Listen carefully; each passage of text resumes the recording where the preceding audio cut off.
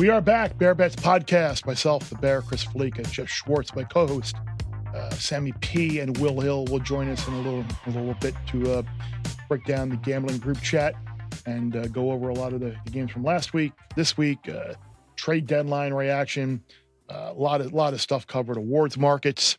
But yeah, it, what a an unusual trade deadline. It felt like there were a lot more trades, yeah. maybe some more players of significance that were that were traded in like I said, um, maybe that doesn't necessarily affect the odds per se in, in, in, odds moving one way or another, but it does affect opinions of, of, of teams and, and, how you feel about certain teams. But yeah, I can remember like, was it Eric Dickerson when he got traded from the Rams to the Colts? Like that was like the first like big like draft deadline trade. Felt like like like it's unlike the baseball trade what, deadline. What year was that, by the way? Eighty three. Oh yeah, I certainly remember that. Yeah, maybe. I'm just dating myself. I'm a I'm a dinosaur. now I'm gonna I'm, I'm gonna have to now I'm gonna have to Google Eric Eric Dickerson. While, he do, while, while Bear does that this weekend, guys, and the NFL is getting the point. I love the NFL. I love it. I watch it more. I don't watch it more in college football. I just like the NFL more. Um, but Bear is getting tough to consume the NFL at the moment because the quarterback situation in the NFL. Not to be a Debbie Downer start the show, we start 87. It looks. Oh. I was alive. 87. Good, nice. Yeah, yeah 80, um, 88. Yeah, it couldn't have been 83 because that was like his first or second year in the league. Miami and Kansas City play, so it's Tua versus, versus Mahomes early Sunday. Great. Start Sunday off well. We end Sunday with Allen, with Allen and and Burrow. We also have Hurts and Prescott Sunday afternoon. In between that, can I list you the quarterbacks playing the National Football League this weekend? Ready? It's whoever the Rams are playing and Jordan Love. Whew, hum babe. Sam Howell, Mac Jones, Baker Mayfield, CJ Stroud, Clayton Tune, PJ Walker. Uh, is it Tyler or Tyson Bagent? Is it uh, uh, uh whoever? mm-hmm. It's one of those two.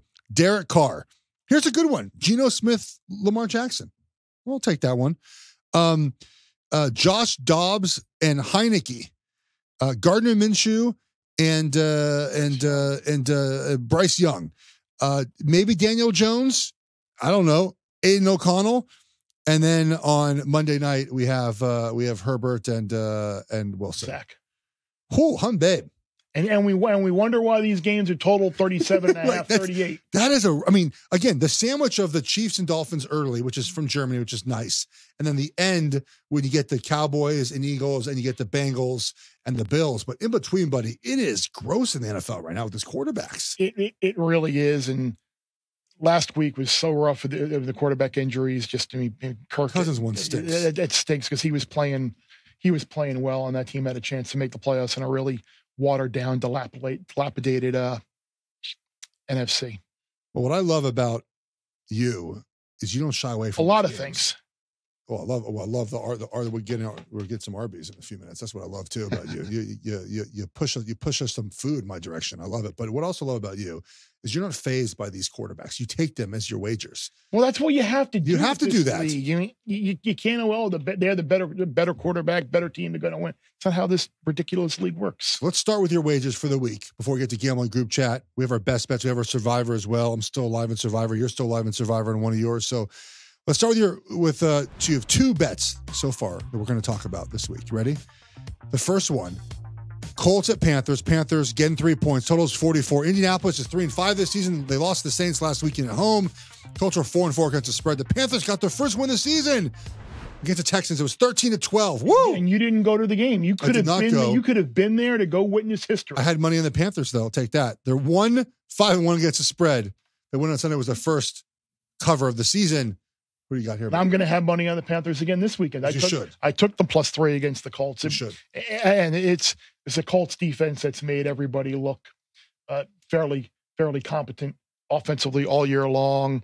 Um, got the first win. Maybe things take off a little bit here, and if you get Bryce Young could feel a little bit better about himself. The, the, the Colts can't stop anybody.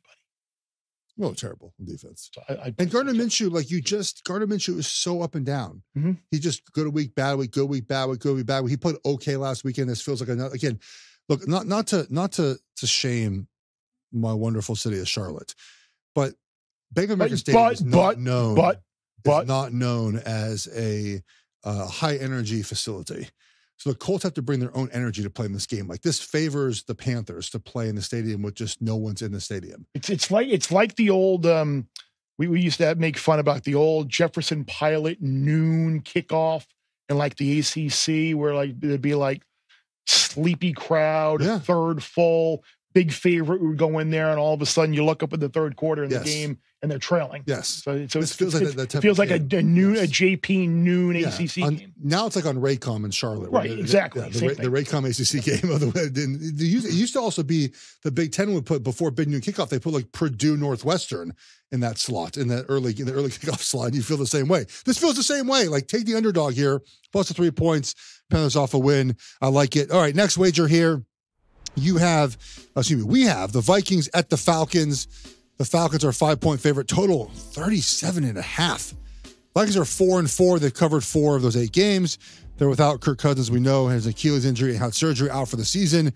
Uh, we believe Josh Dobbs, who just got traded for, is going to start this weekend. I think. No, I think you're going to go with Hall, aren't they? going to go with Hall. Okay. How are you going to bring in Dobbs to start right out right off the bat here?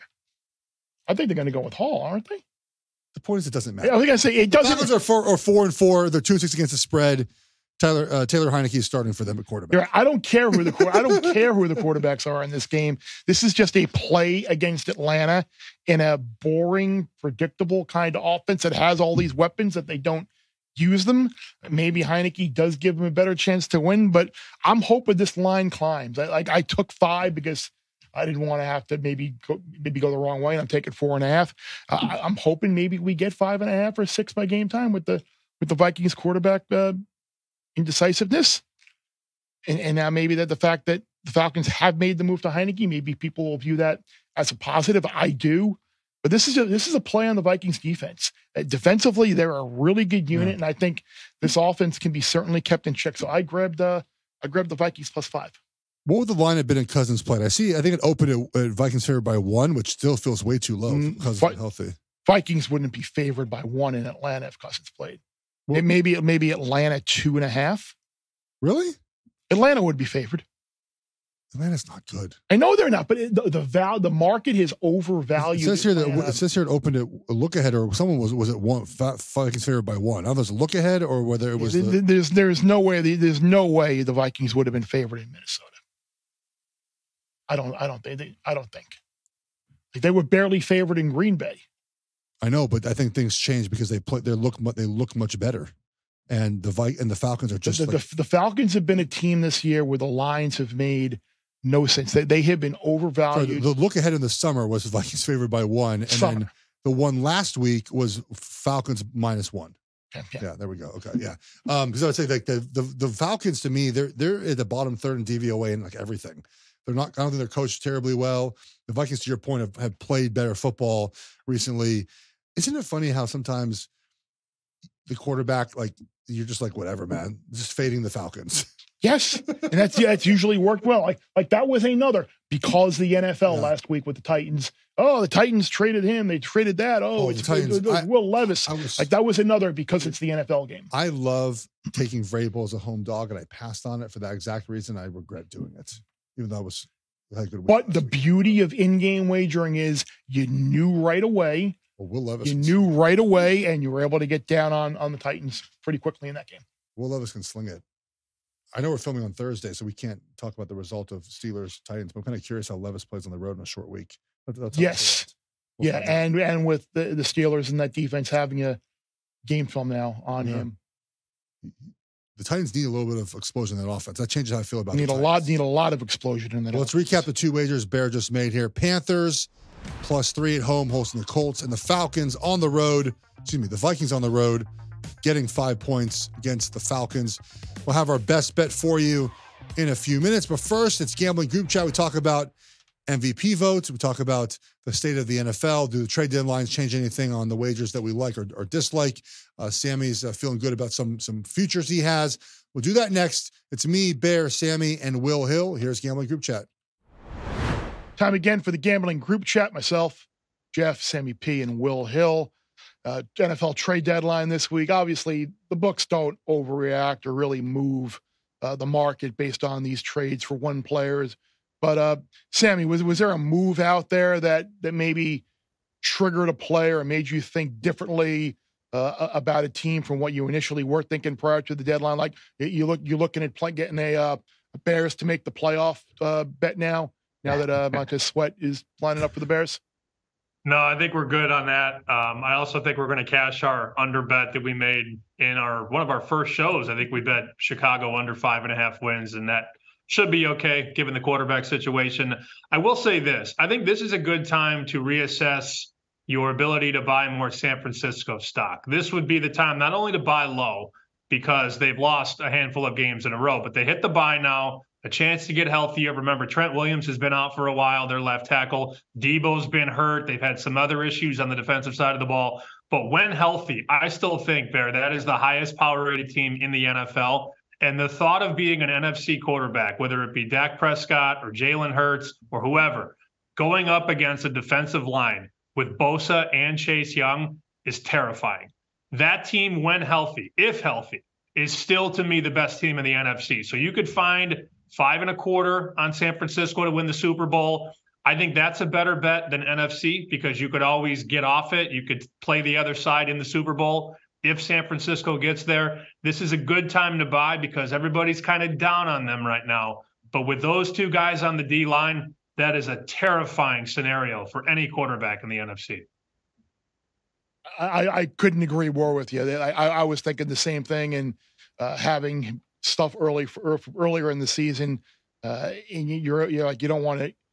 You, you don't want to get the, the worst the worst of the number and everyone oh I need to buy more San Francisco four to one four and now is the the rare time where you actually do get a good opportunity to get a little a little bit better of a price on the 49ers who uh, I agree I, I, still think are the best team uh, in the NFC. Will any uh, post trade deadline thoughts on any teams that you might be looking to uh, maybe make a play on here? No, I wish I got to go first because I would have said basically what Sammy said. Well, the one caveat being I, am a little concerned about the 49ers defense. By the way, the second place San Francisco 49ers, which is, is hard to believe. I mean, they were like the greatest team on earth a few weeks ago. And that Dallas game seems like a long time ago. But uh, they haven't played well on defense. Young will help. Getting healthier will, will, help. You know, Williams, Samuel. I'm not that worried about Purdy. I, I think the week off will do him well. I mean, look, he's still a young quarterback.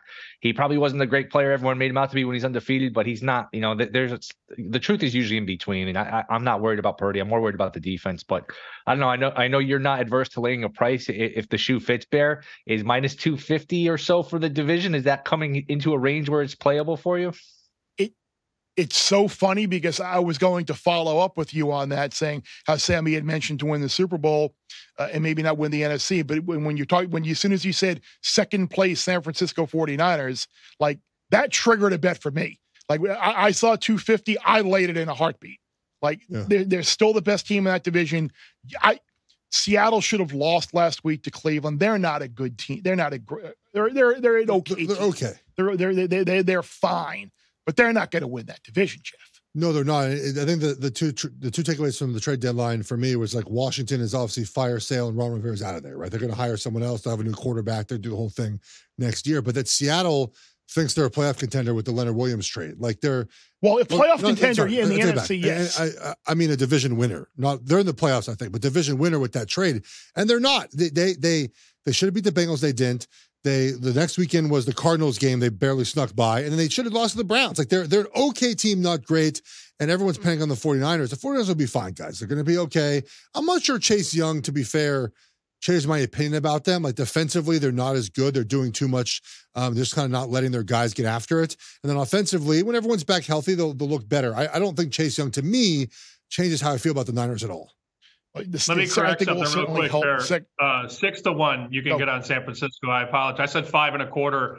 Um, that was when I was looking last Sunday. I took some notes for the show. So you can get six to one at multiple sports books on San Francisco to win the Super Bowl if you're so inclined. And then one more quick nugget: the only disappointment of the trade deadline was that Minnesota didn't get Jameis Winston.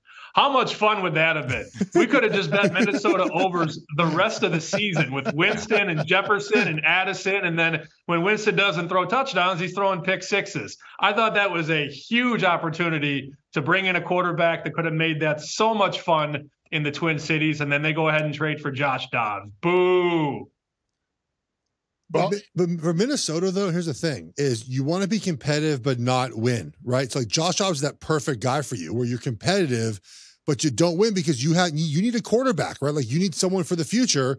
That's a great draft for that. You don't want again, you're you're four and four, you're in the playoff hunt. So I think you want to appear competitive and you want to give your chance, you know, your, your players a, a chance to win each week. And Josh Dobbs is good enough to make that happen, right? You know, probably won't win a lot of games with him at quarterback, but you still want to sort of lose and draft in the top ten if possible. I I took the Vikings this week plus the five. You know, Will, you're shaking your head at me. You're shaking your head at Geoff. Because we were on. Th- I'm shaking my Or head. 'cause, both. You, first of all, both is I'm acceptable. I'm a Vikings fan, and three weeks ago they were one and four, Correct. and we said, you know what, trade Cousins, come up with a fake injury for Cousins, and can you only imagine if Cousins got traded to the Jets and he ruptured his Achilles on the Jets for you know the second quarterback in five weeks to get hurt or whatever? But now the Vikings are in no man's land. You're going to win six or seven games. You already have four, so this idea that you're going to be picking in the top one or two to get Maye or Caleb, you're just going to be in no man's land. Like picking in the top, you know, be, let's say they get the eighth pick, somewhere between five and ten. Okay, that's better than picking uh, I don't know, in the 20s or 15, but they're not really a contender. They're not going to be picking high. They're just they're sort of in purgatory. I, I don't really know, you know, what the plan is. I I think they should have just probably traded Cousins earlier. The, the thing is, they're playing well. They they would have made the playoffs probably easily if Cousins stayed healthy because Flores Yeah. has the defense playing well. Um, Addison's a stud. You get Jefferson back. Cousins was actually playing well. So to me, this is just typical. It's no man's land here for Minnesota.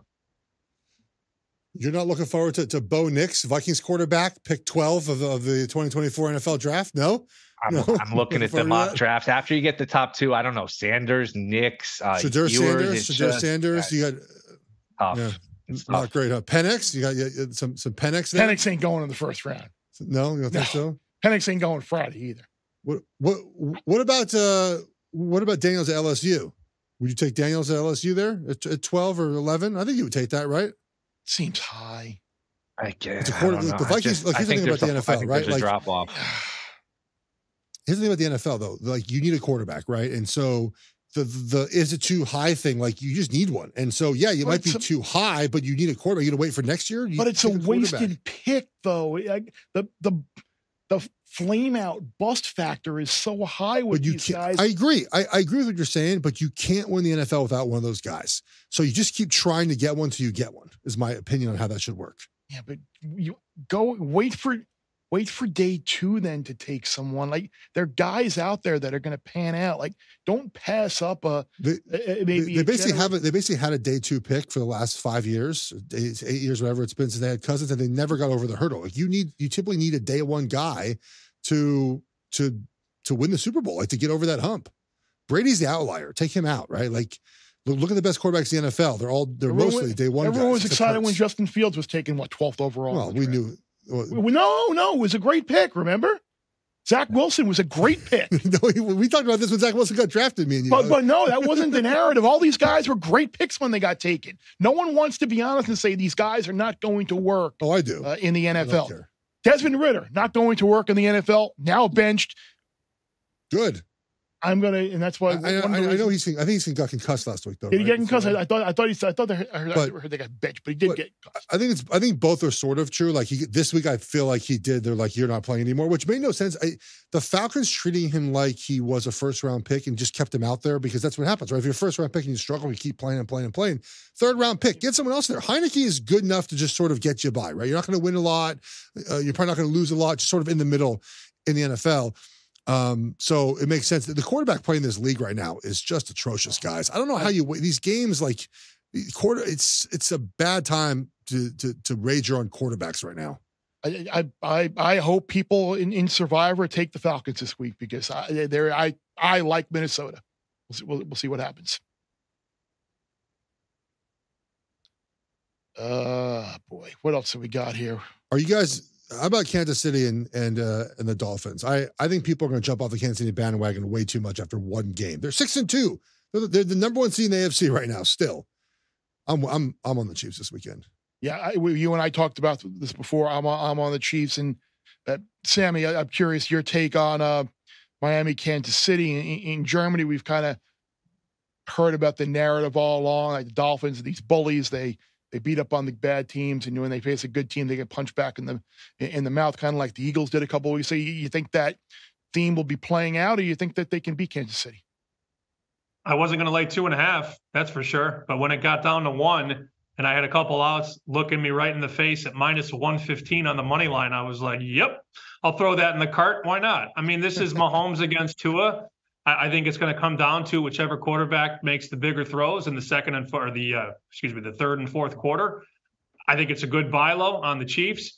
Concerns for sure about their receiver room. I mean, their best receiver might be that rookie Rice, but if Mahomes and Kelce are healthy at a pick 'em, I'm going to lay 115 to win the game. I'd much rather lay 115 than lay one. Most games don't land one, but if it lands 21 20, I'd hate myself. So Why I went money line. Yeah. Yeah, we're going to go four for four here. I like the Chiefs. I mean, we know that, that Kansas City's not good at covering these big numbers when it's seven or 10. They just don't have the appetite, the desire to cover. But hey, Mahomes, if you're getting points or just laying basically zero and you have to win the game, uh, historically, that's been a pretty good bet. I, I could just, we could throw out last week. It was what, five turnovers. Mahomes was sick. I think that's just one that, you know what, it's the NFL. Things happen. They've beaten Denver 900 times in a row. So, uh, Spagnuolo versus Tua is, is interesting. Spagnuolo is one of, the, one of the better defensive coordinators. Maybe he can throw some stuff at Tua that you know confuses him. This should be a fun game. This is just this is an awesome game. You, you know, if if you're on the West Coast, this is an early uh, wake up call here to watch this one. But to me, this is the Chiefs. I understand if you want to throw Miami into teasers, if it's one and a half up to seven and a half, should be a competitive game. But like you said, I mean, uh, Miami, let's see them pick on somebody their own size. They blow out all these bad teams. Let's see, see them beat somebody good. I think they haven't earned that benefit of the doubt. Kansas City has.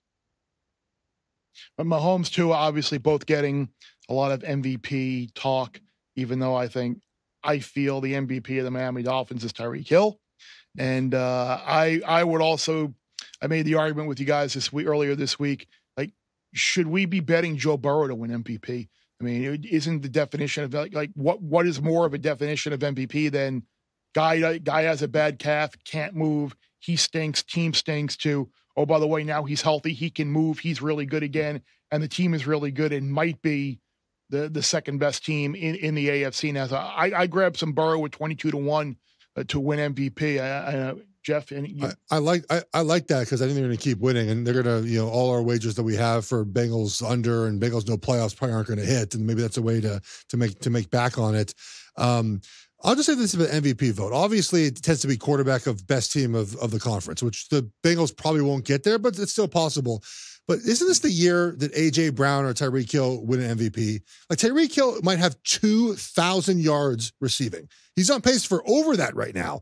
If this is not the year when you have a little bit of a lull in quarterback play, right? It's just not as good at the top as it's been in previous years.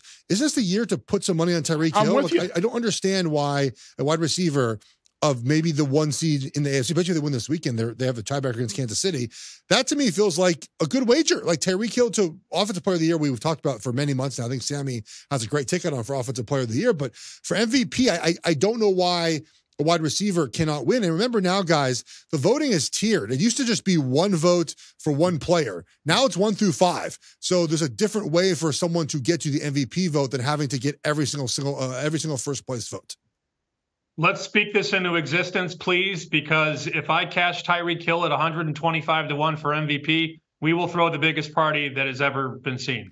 I mean, Arby's for everyone. 2,000 yards, 2,000 yards, 20 touchdowns on a team that wins 11 or 12 games. He's their best player. It's not Tua, it's Tyreek Hill. And I'm looking at the range right now 20 to 1 at DraftKings, 40 to 1 at MGM, 50 to 1 at FanDuel you know, if you want to jump on this party for Tyreek Hill, by all means, but don't bet 20 when you can bet a 50. I mean, price is so important in these markets because all of these books have different liabilities. And the price at gas station A is not necessarily the same price at gas station B economics. Yeah, there we go. I just I, I don't think I can get there with a non-quarterback winning. Je- I think Geoff's point hurts the idea of a non-quarterback winning because I think these voters who are all analytically driven and they think, hey, the quarterback's the most important, which it is, and when you throw the word valuable in there, I think it's just a way to give Hill, hey, we'll throw him a bone, we'll give him a second place vote, a third place, maybe he places here and finishes second or third.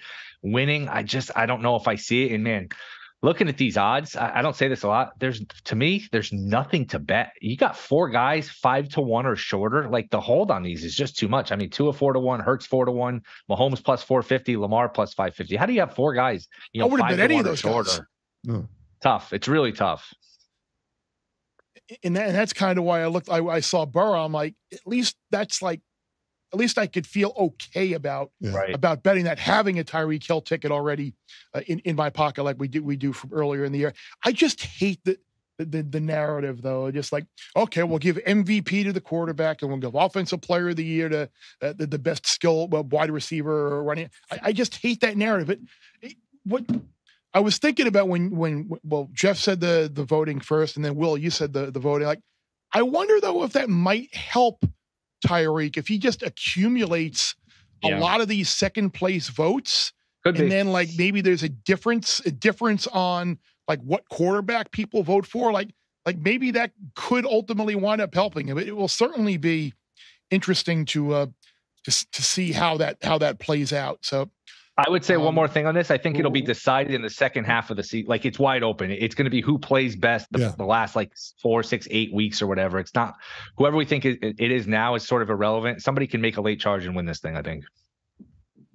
two games of the week, obviously. Well, I shouldn't say obviously because the Kansas City Yeah. Miami game in Germany is pretty, pretty damn good. But uh, two of the afternoon games on Sunday afternoon Dallas, Philadelphia, Buffalo, Cincinnati.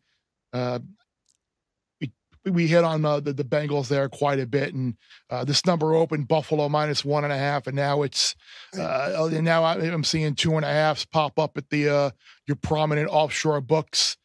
Uh, th- th- this I, So I, I don't I don't understand this line. I was going to say it you. felt like one way traffic all along from the start on, on Cincinnati, and uh, the, the the flip in the betting market is the case. What what what's the case for Buffalo in this game? Like I don't like, know. I'm just asking. Like I, I like seriously. What what the Bengals are who they are. We watch them play the Niners. They're the team they've been the last two or three years. Right? They're back. They're fully healthy. They're ready to go. Their defense looked looked improved after the bye, which there was some. It wasn't as good as the previous years, but obviously looked it, looked better.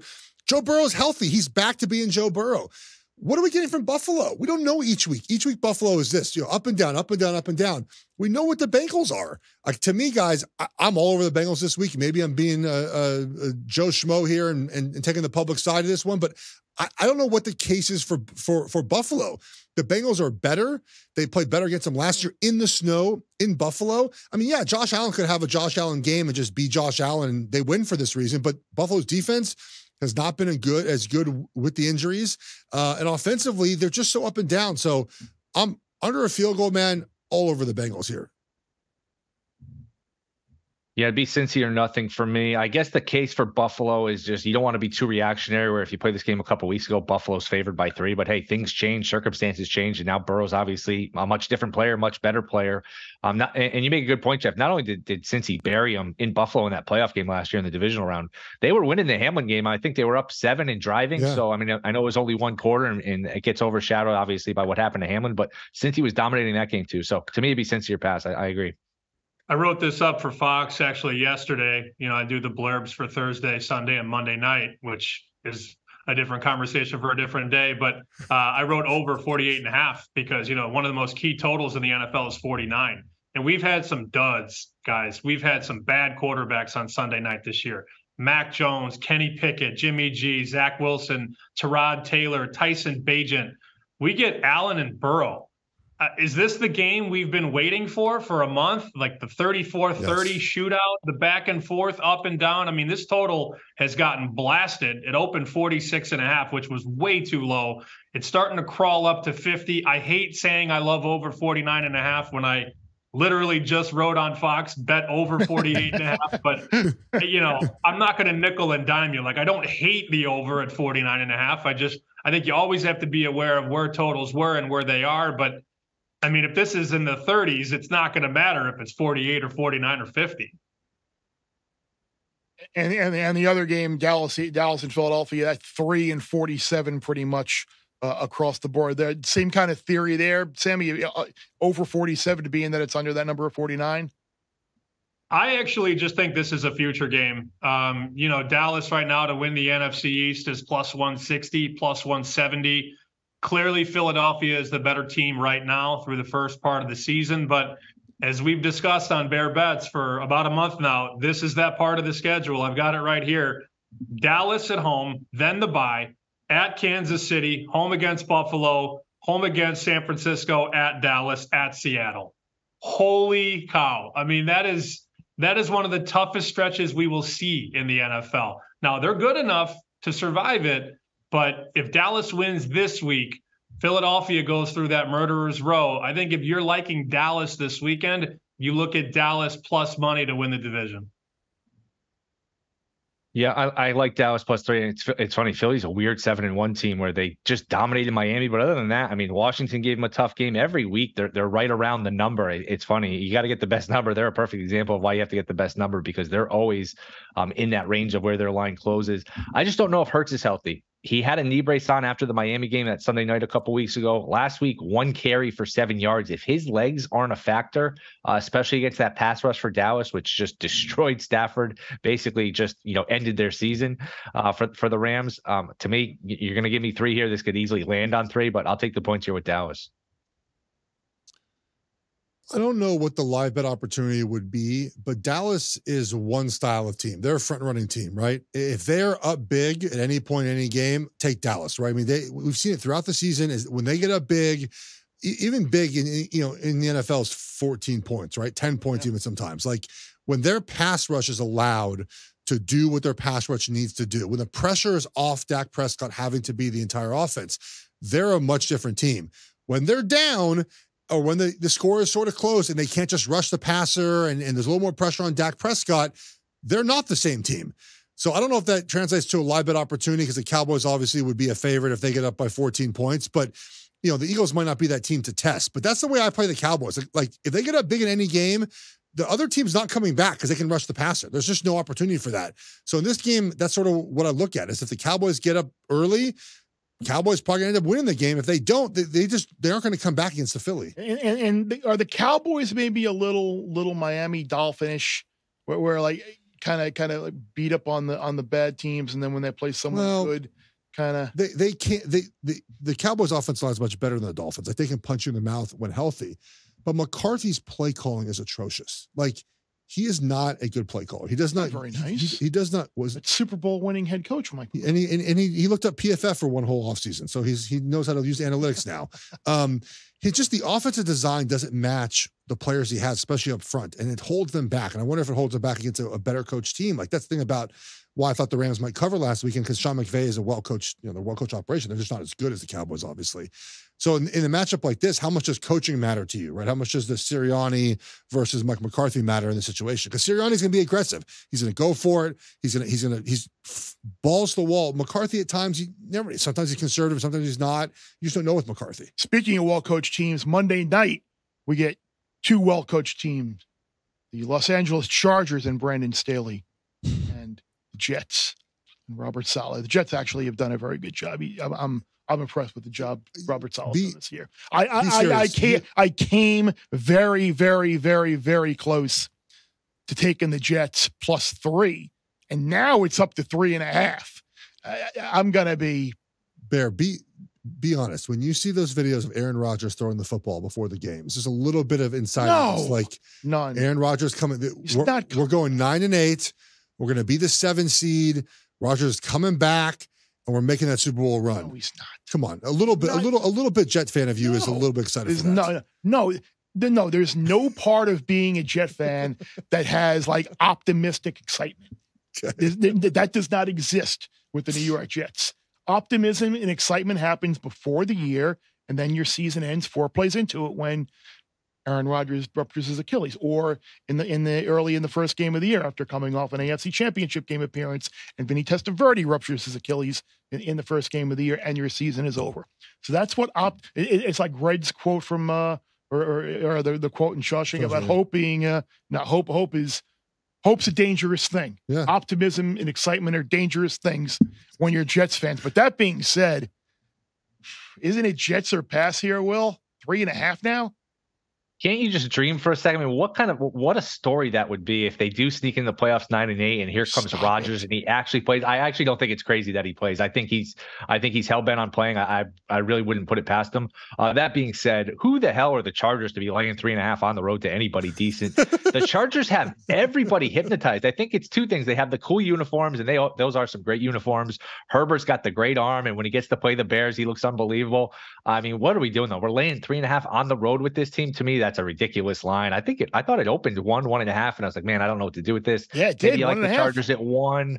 Maybe you tease the Jets when it's one and a half at three and a half. This is uh, this is a play on the Jets. J E T S Jets Jets Jets. Can we also talk about Robert Saleh? I mean, uh, look, I don't want to continuously drag Dan Campbell, but Robert Saleh has done a much better job given what he has Yes. than, than Dan Campbell. And Robert Saleh has gone all the way down to six to one, 550 to win coach of the year. If this team Really? makes the I playoff, yeah, he so it's it's Ooh. Campbell I, two to I, one. gra- I grabbed him.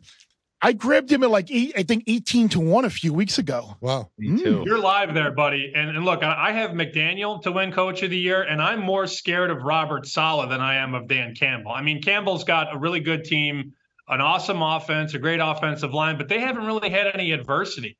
Robert Saleh has done, in my opinion, the best coaching job to date through seven games. To have that team four and three, Yep. Zach Wilson is it's the best coaching job in the NFL right now. Now Plus you have he's in New York. The season, he has done a tremendous job moving things around. His defense is really freaking good. Tyrod Taylor had like eight passing yards last mm-hmm. week. I mean, Saleh to me is the story in New York. His coaching job has been sensational, and he is slowly crawling up that board for coach of the year. If they beat the Jets or if they beat the Chargers, excuse me, on Monday night, you might see Robert Saleh like four to one coach of the year. I, I we don't want to chase bad numbers, but man, I mean, Yeah. you line those three coaches up right now: McDaniel, uh, Campbell, and Saleh. Saleh has done much more than those two guys, and he has a lot less to work with. Yeah, seventeen to one. I, I had a thumb through on my preseason NBA win totals uh, that, that and play and uh, awards markets to to get back down. it to does. It it does feel like though the Jets. I mean, they they got very lucky to win that game this past weekend. Got Like, lucky to win every game. like, there's a there's a case. so were the Giants just- last year. that it just like I don't know no and, and and the Falcons were close to being that team I think and not anymore. Uh, it just feels like they're at, at some point this year could all implode. It doesn't change what what Robert Saleh has done, but I mean, you're not going to win many games continually the way they have been winning many games continually. It's just not the way that It's not sustainable, is what you're saying. I agree. it- yes, it doesn't take away what Saleh has done, but like the end of this Giants game, like if Kayvon Thibodeaux doesn't jump off sides, the clock runs and they never get opportunity to even click a field goal. Right, it's one more play, hail mary, game over. Right, like there's little things in that. it- you know, if if if they don't let Allen Lazard just get up off the ground, they let him literally catch the football in that final mm-hmm. play and just get up. Just land on him for two seconds. Make the official come over and pull you off of him. Game's over. Like there's all these little things that happen where it's like the, the wins are great, and I, I like that they're battling, they're playing hard. All those things are true, but come on, I mean, they, they very easily could be two and seven right now. They very they very easily could be, but they're not. I know They're in the thick of the playoff race. Optimistic they would- fans. If they win this week, it's Aidan O'Connell next week. I mean, that's you could qu- you could quietly Oh, yeah. sneak your way to six and three if you could ever win this week, and then you give yourself some cushion before the schedule gets tough. You do have uh, Bills and Dolphins after that, but then Falcons, Texans, uh, Commanders, the Browns. Who knows? The Patriots. Oh wow, There's a path for nine there. Nine. I don't know if nine def- in- definitely in- gets you in. It doesn't necessarily, but it's Look- there. Oh, look, look, look at Bears getting. And, look at and this is why we were so high on him with Aaron I before know. the year, Will, because we knew that the way the schedule was backloaded, and if they could just get out of the first six games, two and four, or three and three, like they, there was a, they, they were going to win ten games still, and that's why it killed me week one. there's just no chance the Chargers even win this game, right? They're not going to on the road outside in New York and winning this game, right? Like, there's just no, ch- there's no chance. Sammy, I Like, I think you should make a bold prediction. Chargers W- i- Is this game going to be tied with four minutes to go, or is this game going to be tied with four minutes to go? The Chargers will be down three with two minutes to go. We all know. I thought about this the other day. We've all had that phone charger in our lives that like doesn't really work, but then if you angle it a certain way or you bend it, you can get a little charge. Like that's that franchise. They're just a broken phone charger that like it calibrates every once in a while. The, the quarterback has so much talent, but then he's zipping 90 mile an hour fastballs into triple coverage, like with the game on the line. It's just it has to be maddening to be a Chargers fan because they have so much talent, especially on offense, but they just continuously stub their toe. And it's not like one or two years of this. This is like 15 years of this, going back to like Shawne Merriman and Rivers and all those teams with Tomlinson and Michael Turner. Like this has been the story for 15 years where they're just they're so stacked with the talent and it just it doesn't come through. If they don't fire Staley soon, they're going to be jumped by the Raiders for Harbaugh. Like, like, like they need to get on this fast Good before point. Harbaugh, because That's a really Harbaugh, I, Harbaugh in Los Angeles with Herbert would be incredible. Harbaugh's won every won in San Diego, he won in mm. Stanford, he won in San Francisco, he's won in Michigan. Like, he will be the Raiders head coach, in my opinion, if they don't if they don't jump the Raiders to get in line for his services. Who the hell's betting Giants Giants Raiders this week? By the way, you mentioned Aidan O'Connell getting the start there. The the Raiders cleaning house. The head coach, offensive coordinator, GM. I'm sort of curious new. for the, the Antonio Pierce Raiders, but they're just not a very talented football team. It doesn't matter if the, the new coach. I don't think it matters very much. So they're just not good. Geoff, but- Thirty-seven. Oh, Geoff, you mentioned Harbaugh to the Raiders, and we talked about it a little on the college pod. Is is, Harbaugh like? Isn't he smart enough to say, "Hey, I, I have my pick of jobs here. I'm, what I'm going to do is I'm going to jump in a division with Patrick Mahomes and Justin Herbert. Like, you got to get a quarterback, not go against the quarterbacks. Like the Charger job, I certainly understand the appeal, but do you really Yeah. want to go take the Raider job against Mahomes? Well, look, it, it, all depends obviously on what jobs open up, and I think for for Harbaugh, a couple things will be important. And one is the personnel control, right? I think he's going to want personnel control, and I think Mark Davis will give him the personnel control. Like that's part of like in San Diego, uh, Los Angeles. I'll never stop calling that. You know, is Telesco gone too? Because the roster is pretty good there, right? And and and so I don't know if he's going to want to go somewhere that someone else is choosing the players for him. I, I think that'll be important for him. Um, and then also like Chicago, I know we joke about that, but Kevin Warren, is, is he going to hire Jim Harbaugh? Like that might not be even a place for, for Jim to go. So you look out west and you say, look, I can go to Los Angeles with Justin Herbert potentially, and Harbaugh's a competitive enough dude. He don't he doesn't care about Kansas City. He you, care, like you, you, you familiar with his eagle, aren't you? what? Yeah. Yeah. Well, I'm just saying, like, I just know what he's going to want as an NFL head coach. It's why he's been close to going with Minnesota, going to other teams, and they probably tell him, like, yeah, we're not giving you player control, so you're just not going to get that job. And so, if he, I think he looks at it as saying, look, I can have Justin Herbert. Uh, maybe I don't have player control, maybe I do, but he don't, he, he's competitive enough where he does not care about the division. And if the Raiders give him personnel control and no one else will, he'll choose the Raiders. Do we Yeah. know that that Stafford is definitely? Oh, go ahead. I'm sorry. Finish up on this thought. No, no. I, I I was just agreeing with Geoff. Like, look, if you tell me I get to coach Herbert, absolutely. If you told me I'd coach the Raiders, uh, man, that's a that's a tough spot. But yeah, go ahead. do we we know do we know for sure that Stafford is definitely out this week? hmm I mean, we could assume, right? You want to lay ah. three and a half with Green Bay? Like I, I would No. take the Rams plus three and a Who's half. their with- backup? Is it? it- is Rypien, it- I is it still, it- it's not Wolford. It's not Wolford No. anymore. And, and it's not. It's It's not. not It's, it's not the. It's Brett Rypien. Rypien, okay. I take the Rams plus three and a half with with Rypien. The Packers are broke. Yeah. Packers are terrible. No, their defense is 27th in DVOA. They're not a good football team.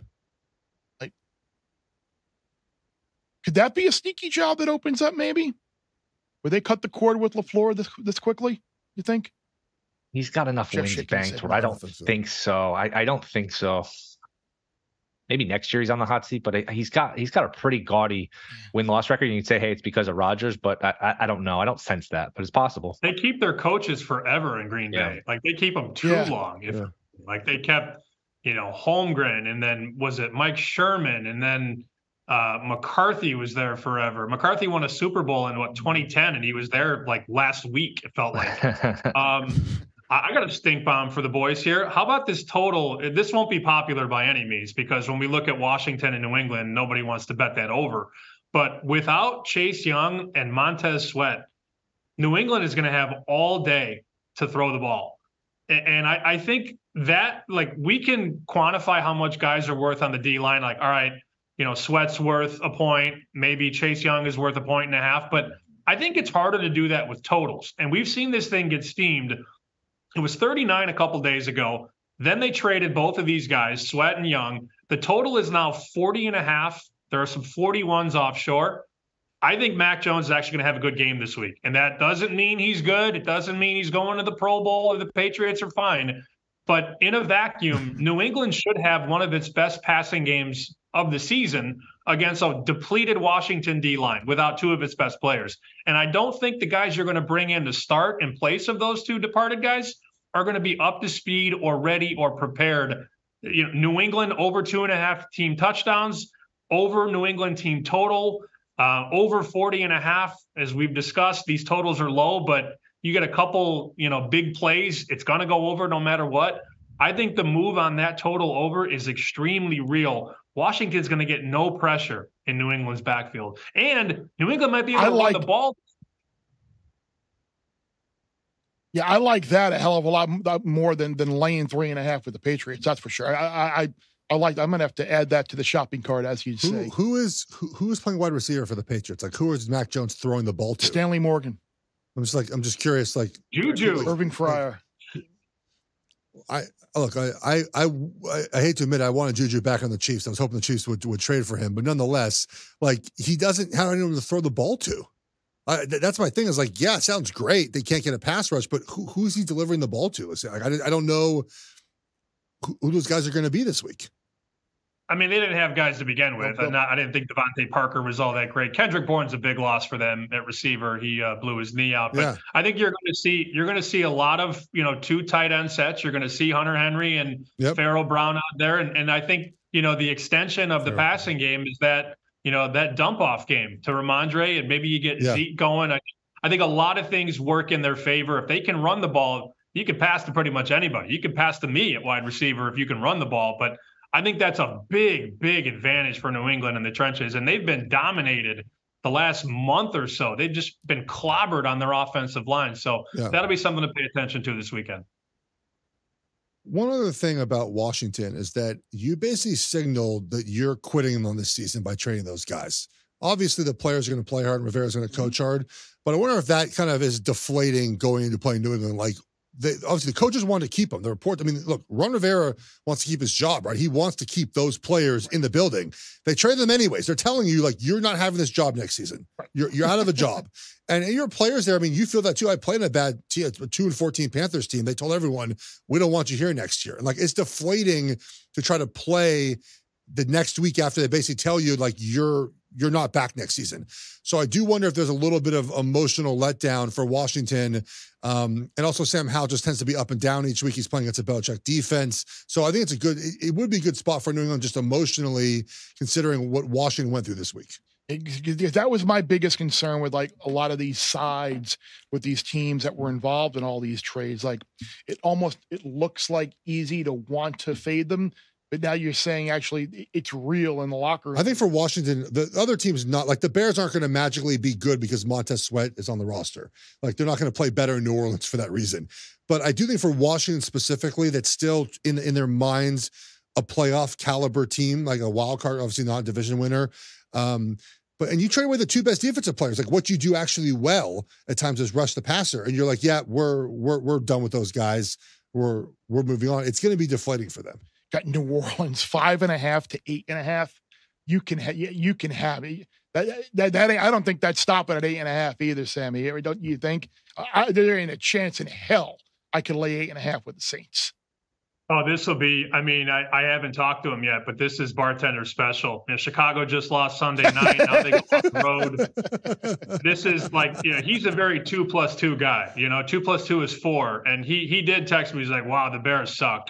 So that, I mean, that does sort of line up. But to your point, I mean, we deal with numbers, not perception. And I, I can't wrap my head around it, Will. I'm not laying eight and a half with a team that scores 21 points per game. It's just, it's not going to happen ever.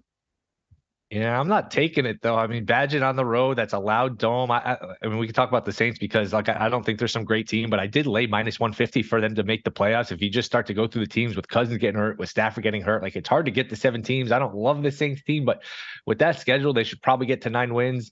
Uh, if I had to take it or lay it, I would probably lay it with the Saints. I just think they could win it. You know, I don't know, mm. 27 17 type of game. I think the best way to play this, though, obviously, throw the Saints in a teaser with, I don't know, Cleveland. Uh, is Clayton Tune on the road in Cleveland against that defense off a terrible, just a brutal loss for the Browns? Is Clayton Tune, uh, uh you know, going to do anything against that defense? So I don't know. Brown Saints teaser sounds pretty good to me. By the way, we, we, we keep saying Browns defense. We know they've allowed a lot of points the last two weeks. Yeah, right? we like, have. Yeah, like, like in like in like they like they've been good, but they allowed a lot of points to Gardner Minshew, and then they let Seattle just march on the field on them uh, all day. It was it was a short field after a flukish interception, and they did early 17 point first quarter, didn't allow a point until that final drive. So They they, all- they all- played the- well. The points all count at the end, though. yes, Like, they do all count, but it wasn't like they allowed Sure. 40 points to Gardner Minshew Right. two weeks in a row. fair, but but the thing is, like, if you're the, if your defense is that good, I know it's a short field at the end. At the end, but you you shut it down, right? Like that's your like you're that good. You should. I just think the Browns' defensive talking point was fun for a while, but it seems like they're not as good as they have been. But we, but, but Will, we, But we- Clayton Tune doesn't matter. It's but Clayton. we've joked, uh, we, we, Sammy jokes about the Chargers with their, the way our, every Chargers game go. Will, we've talked about this as well with the, with the Cardinals. Every Cardinals game is the same thing. They'll come out, they'll play well for a quarter, quarter and a half, and the second half, they just get absolutely boat raced. that Ravens Cardinals game last week, the final two minutes is Oof. is a perfect example of like what the hell are we doing betting on this sport? Because I mean, there's um, you know, there's a two point conversion, then it gets called back with a penalty, then there's a missed field goal, but there's a penalty on that. I mean, there was just seven or eight different occasions where it's like you won, you lost, you won, you lost, and you at the end you just, you know what, you don't even. It, it, sometimes just teasing these games is better because if you had the Ravens in a teaser, you're not sweating. If you had the Cardinals or the Ravens plus the points, it's just flip a coin and whatever w- way it lands is how the game goes. But yeah, Arizona reminds me. I think it was two years ago. The Lions were kind of like this, where they weren't good, but they would cover a lot. They'd be in a lot of games. Arizona either covers or they're close to covering. Um, I think they've covered what four or five games. They had the the 49er game where they dropped the cover in the end zone. They were close to covering against Seattle, so they're they're in the mix of covering. They just man, they won that one game against Dallas. That's a long time ago. This team is one and seven, and I don't know what they do with Murray going forward. I don't know what the point of bringing him back is in, in getting to you know two, three, maybe four wins. I think this is t- a team that's uh, you know looking at a pick here, so it'll be interesting to see how the rest of the season plays out. Well, don't don't don't get the four wins. Four wins would not make the gambling. I'd appreciate that at too. all. Yes. We, we, we, need- we, we, we, we, we need that under under three and a half. So uh, on that positive note, along with Jets optimism, we'll we'll we'll, we'll, call it a week. Hopefully, we'll be a, uh, a winning one. And Sammy, as always, please let us know when the uh, the bartender is, uh, please. is, is has poured one for us all. Take care, guys. Have a great week. Always fun to have the weekly check in with our with our guys there uh, and kick a, a bunch of stuff around. I'm, I'm- I, I, I, I want. I, Sammy I'm to so. I, I was just gonna say I am so passionate about that. I, it's like I almost like am rooting against all these quarterbacks now because I, I want the best player to be He's good, the man. MVP. and and he he is, I think this I think it's the first year I felt in a while that there's a legit opportunity for a wide receiver to win MVP. it's, it's like every week it's like, and I know I just made the case for Burrow, so I may be guilty as well, but every week it's like, oh, it's this quarterback, it's that quarterback. It's allowed to not be a quarterback. Correct. It's possible for the most valuable player to not be a quarterback, Absolutely. especially in a year where quarterback play has kind Yeah. of been down and and production has been down. The only the only the only thing the only drawback I have for the Tyreek Hill wager. This is the only thing I have to say, and I hate having to reference this all the time, but like the injury thing with Tua, he's got to. To me, if he makes it through a whole year without being injured this year, that drops. The injury tag drops. But he's got to make it through the season, right? Like Mhm. he has to make it through the season before you can say that you can start kind of saying that. But that does the only thing that worries me about that is is that part of this of this wager. Uh, but we have Survivor to do, Bear. So I'm still alive. I think you're still alive. I mean, I'm survive. I'm, I'm alive in one that I'm and I split with the buddy of mine. Okay. and uh, we did use the Chargers last week, which was pretty much straightforward. It feels I used the Chargers too last week. it feels like we're going to get a get an upset this week. Yeah, I, I, I, we, we've we've kind of gone a couple of weeks now, I think, without a big one. Feels like the time might be right, and I think he got some candidates this week. Is he got the Saints, who are going to be one of the top picks, and and we kicked that around. The there isn't a chance in hell I'm trusting the Saints. Really? No, Against the bad I know. I, even against the bad bear, they, they, they, Sammy, you you hit on trust the Browns over the Cardinals? Yes, that's my top play. Okay, I'll take, Like, the, I'll like, take, no, I'll take I'll- the Browns. I'll- then. I, I just the Cardinals. We, we hit on it. Every game has gone the same Yeah, way. they're- they're not. They're just not deep. The talent isn't there. Uh, The, the, the Saints' offense just goes into too many lulls, and they find themselves. and they shouldn't have, and they shouldn't even cover last week in the Cardinals. Like that, that was they, they needed a late touchdown, Right. an onside Oh, yeah. kick, Yep. A field goal down ten with Yep. five Well, with, with forty Will- seconds left to cover that game. Will Will was doing a very good job of uh, living through that yes, uh, for us. Um, get Atlanta, and we both hit on. I like Atlanta, and I don't trust, or rather, I don't like. I don't. I like Minnesota. I don't trust Atlanta at Never all against Atlanta. that defense. I tread carefully there, and then I think Cleveland after blowing that game in Seattle. Maybe I'm not laying eight and a half or whatever the number is, but you need a win. You get one of the worst teams in the league at home with, with a guy making his first start in Clayton Tune. Like hit on the Cardinals game. Yeah. Like how, how, we know how the game is going to go. Yep. I I I took the I took the Browns here. And if you're looking to roll the dice, maybe you don't have one of those teams available. Maybe you're looking to be contrarian and thinking that maybe one or two of those teams are going to lose. Sammy P kind of alluded to it. Uh, the Patriots would be a team to yeah. may, maybe look at. And you with Washington losing Sweat and losing Chase Young, you you you you mentioned about a team that yeah, kind of nailing it in, yeah, a, little, little deflated. deflated. It's not like that Patriots offense is great, but they could look yeah very good against that new look Washington defense. So if you're looking to roll a dice, top pick Cleveland, risk reward pick New England because you're never going to use the Patriots again. And New Orleans. You're going to use New Orleans? I'm not. I'm going to take the Browns. I don't. I think New Orleans. I think they're deep. The thing about New Orleans is their defense is good still and their defense is not going to let the Bears score enough points. Like Carr, Carr is good enough to win this game, I think, for the Saints. Mm. I'm not doing. I'm going to take the Browns. I'm going to take your advice. It's been going well for us. Okay, for me. But uh, yeah, I, I I would not. Yeah, I mean, we're, we're going to be on the Browns and the one that I'm. Yeah. I no, I took the Browns right now. I have to do this in New York. I have to go home and I have to do I have to do it while I'm here. So you live in an awful state until January January fourth or 4th, June, possibly, or June depends depends. Our state our state will be it'll be June our state. Let's talk about the two bets you made so far in the show before we get to our best bet. You have the Panthers plus three at home against the Colts. The Falcons, to me, I keep saying the Falcons. I hate the Falcons. Why would I mention the Falcons? they're, the, they're, they're, the one team, by the way, that they're, they're, like my team that I just I never wager on. I never win the wager. The Falcon, you have the the Vikings plus five against the Falcons. All right, Bear. Best bet time. We're in the same boat on this one. You can go first. I, I played the the one with the Chiefs. Yeah. I mean, you can just play money line if you if you want as well. Uh, we'll see if that narrative changes with the Dolphins, where they just tend to get beaten up by the good teams and, and, and beat up on the bad teams. Dead game in Denver last week was just weird. No offensive touchdowns, turnovers. Mahomes with the flu you'd think after yeah. that performance last week things will be different here. That was, uh, I believe I heard the stat. That was the worst game the Chiefs offense had played under Mahomes, the EPA wise. Like that was the worst game he had played. Um, I'm also on the Chiefs, by the way. Um, Chiefs defense is still pretty good, by the way. Chiefs defense is fantastic. They they they give the most points they had all season, but that was a lot of short fields that yeah. they, allowed, they allowed points. Um, and it's about Kansas City, and obviously I'm a Chiefs fan. I try to avoid wagering them as much as possible, but this is a spot where, you know, I don't trust them to cover big spreads at Denver. I trust them to cover a game when, when they care, and they're going to care about this game. They're going to care about this game. Georgia, the Georgia Bulldogs of the NFL. They're going to, and when you play as bad as they played on offense last week, it wasn't just the wide receivers. Mahomes had some errors. The offensive line didn't block terribly well. Um, we get the best performances of the Chiefs after a loss like that and when they care about trying to win a game. I'm not saying they don't care about trying to win, but you get like the best game plans against the Dolphins. You get the best game. This is going to be the best of what the Chiefs do is be on this play. I'm not even wagering on them because of the Dolphins, you know, get pushed around type of thing, right? But the Dolphins have injuries on the offensive line still. Defensively, they're sort of, eh, you know, like that, that late, I mean, not the late interception, but the interception that Ramsey had slowed down another Patriots drive. That was a bet. Mahomes not making that throw.